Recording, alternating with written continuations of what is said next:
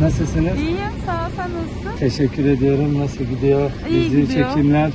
Final kararı Güzel. yine vardı yoktu. Yok. Devam. Şey, devam, devam. Her Güzel şey. gidiyor, evet.